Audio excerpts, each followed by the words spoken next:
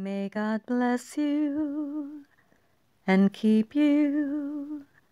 Make his face to shine upon you and be gracious unto you.